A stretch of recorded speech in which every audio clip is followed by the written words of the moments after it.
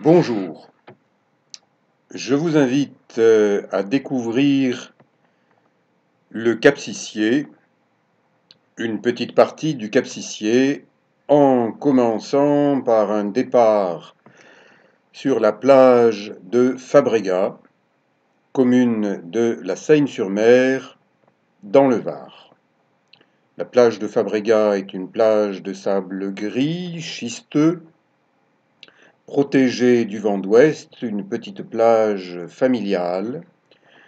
Et à partir de Fabregat, on peut suivre le sentier littoral, fléché en jaune, en respectant le balisage. Il y a des secteurs qui sont interdits à cause de risques d'éboulement et bien sûr le risque d'incendie est prioritaire et certains jours, lorsque le Mistral souffle fort, tout le massif forestier du Capsicier est interdit à toute promenade.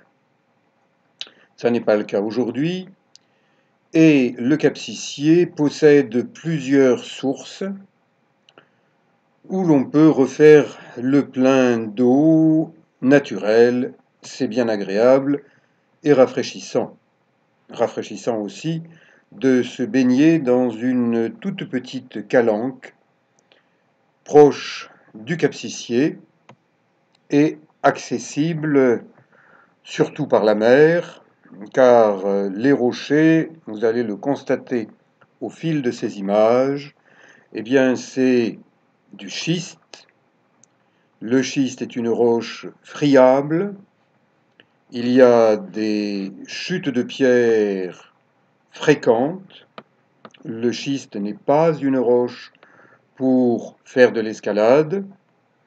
Tout au plus du crapahut, comme j'en fais en étant extrêmement vigilant, car n'importe quel morceau de rocher peut casser sous la main ou sous le pied, et il peut y avoir des chutes de pierres qui viennent à l'improviste et mettent en danger la vie de ceux qui sont dans ce secteur. Je fréquente le Capsicier depuis que je suis tout petit et ces beaux rochers, j'y ai de nombreuses fois sauté, plongé. Aujourd'hui, à 69 ans, j'évite ce genre d'activité sportive parce que mon corps hmm, les digère moins bien. Mais heureusement, on peut nager jusqu'à 99 ans sans problème, à condition de respecter ses possibilités et de respecter la mer. J'admire ces rochers fait de strates grises, de strates blanches, et lorsque vous voyez des strates dans un rocher, dites-vous que c'est une pile d'assiettes en déséquilibre et qu'il est donc excessivement dangereux de s'y promener. Je vous invite à le faire par l'image, la petite calanque avec le capsicier qui se profile au loin, et il est l'heure pour que j'entre dans l'eau. Palme, masque, tuba, pour une petite randonnée le long de ces rochers avec des algues de couleurs différentes, avec des anfractuosités marines et sous-marines, avec un peu plus de poissons au capsicier qu'en d'autres endroits, car c'est l'accès à la pleine mer. Les pêcheurs à pied et à la ligne, il y en a peu, car il faut marcher en terrain difficile.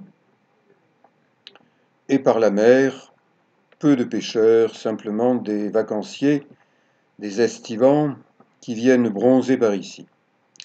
J'observe là aussi une espèce de petite calanque J'entre en apnée, proche du fond, pour rechercher un beau poisson simplement à photographier. Il n'y a que des petits sards qui s'enfuient à mon approche, des girelles, des rouquiers, des sopes, des mulets, des poissons communs en Méditerranée. J'avance précautionneusement dans cette anfractuosité qui se réduit jusqu'à buter sur une zone où je ne peux plus passer, mais en réalité, cette anfractuosité se prolonge jusque dans la petite calanque, et c'est pour cela qu'on peut voir de beaux poissons. Je ressors par là où je suis entré, je fais un canard qui m'amène vers le fond, des petits cailloux, des petits galets érodés par les vagues. Y a-t-il un gros poisson? Pas spécialement. Je vire à gauche, à bâbord, disent les marins, et je continue à avancer doucement, en prenant garde à ne pas toucher les rochers garnis d'oursins et aïe, méduses.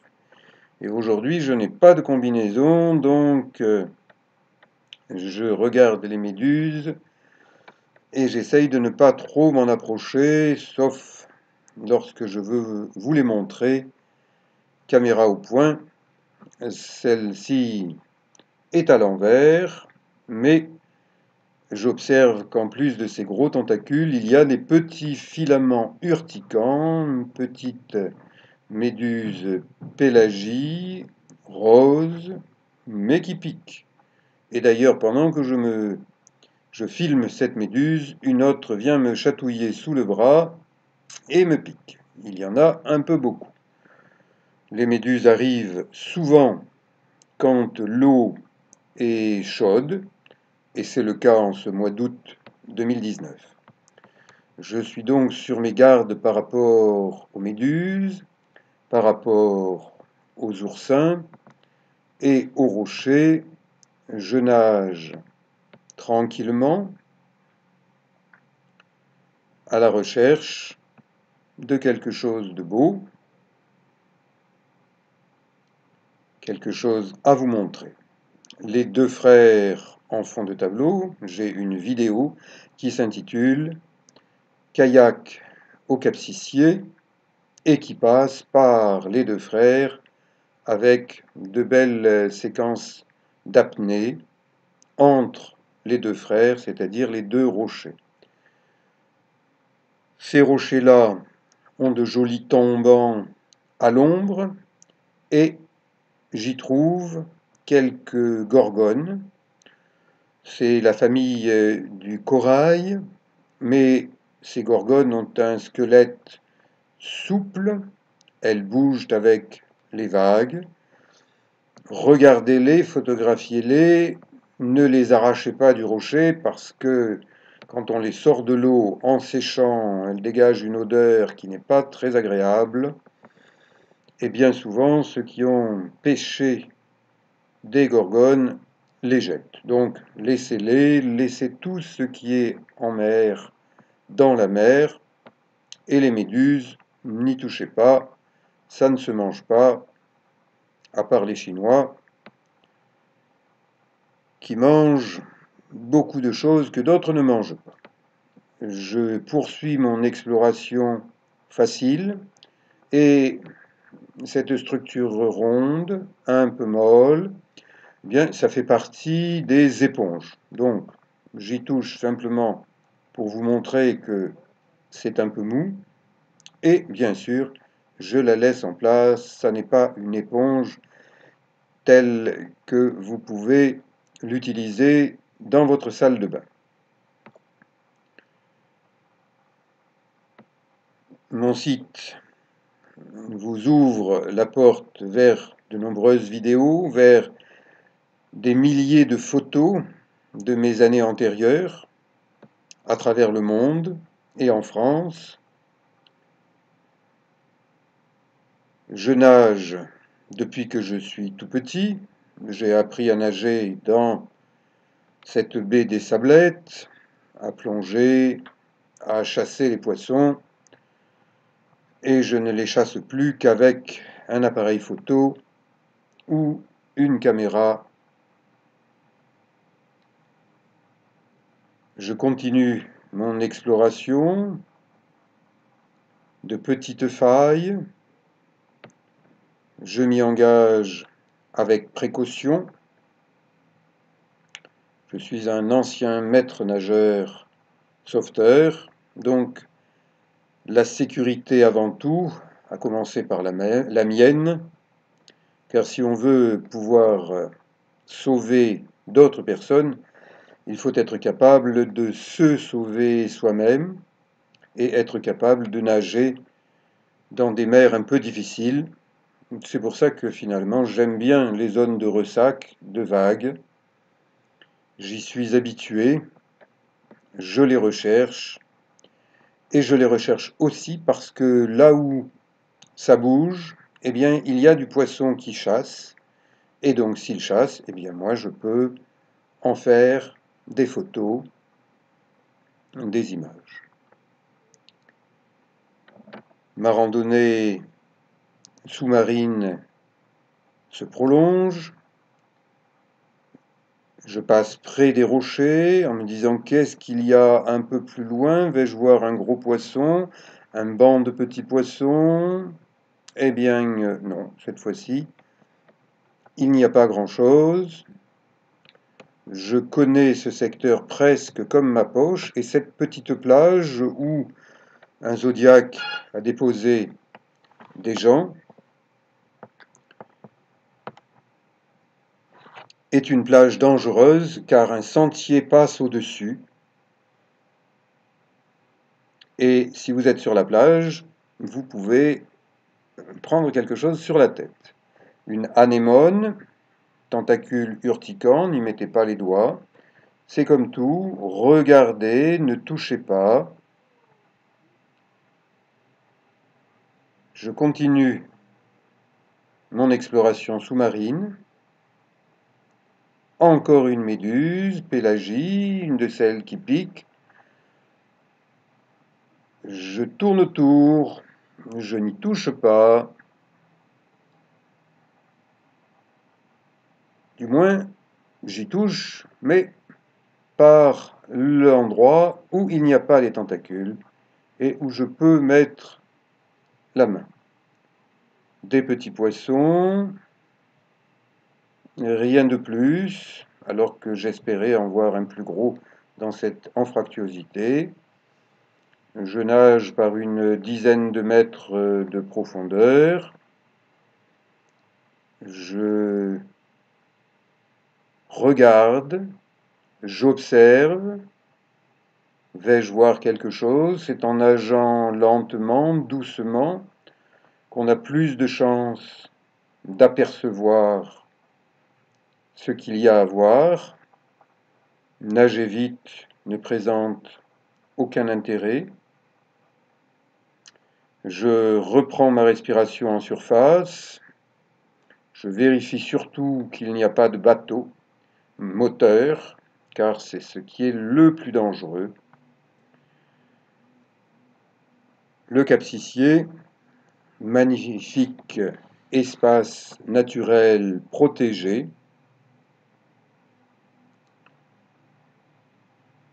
un banc de petits poissons, des castagnols, on dirait des hirondelles de mer, noires.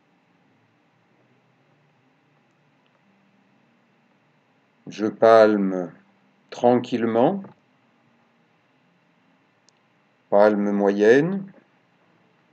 Je rencontre un banc de petits sards,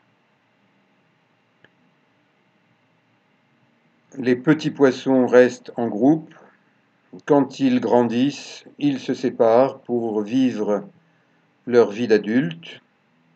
Les sopes sont toujours en bande. Le groupe sécurise les individus. Ce sont des poissons végétariens à bande rayée, jaune, sur fond argenté.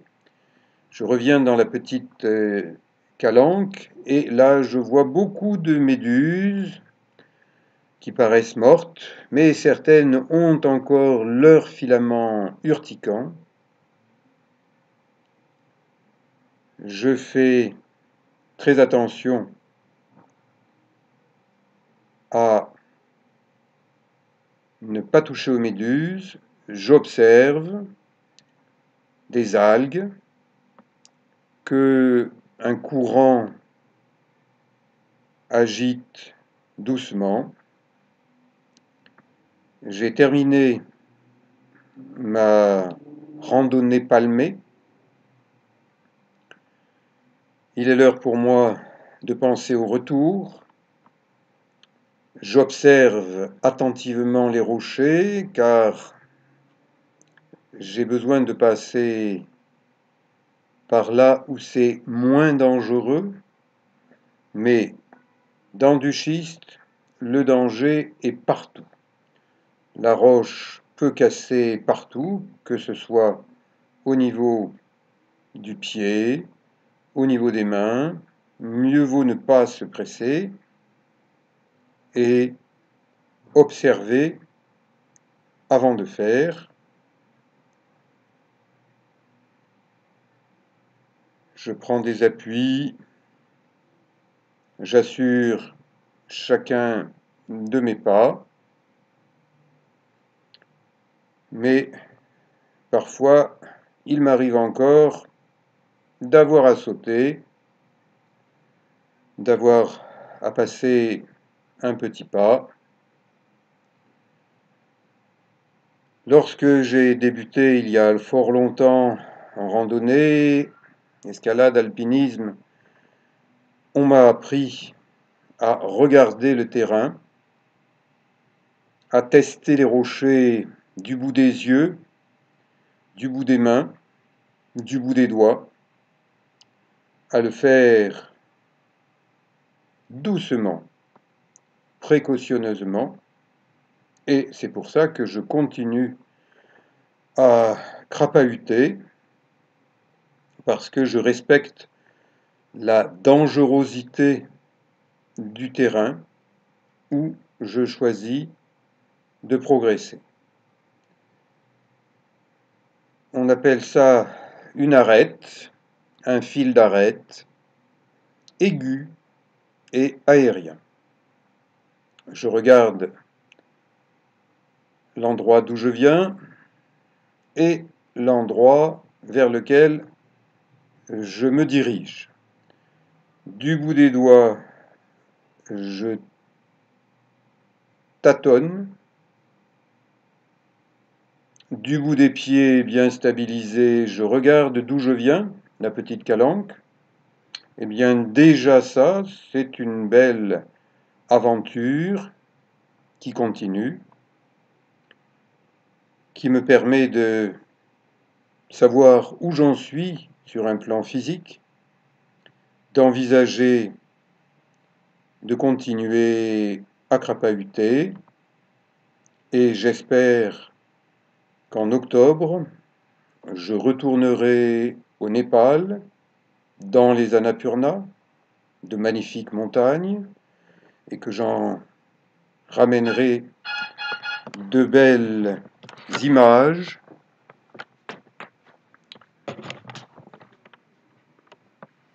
le petit sentier, qui n'en est pas exactement un, va de plus en plus haut.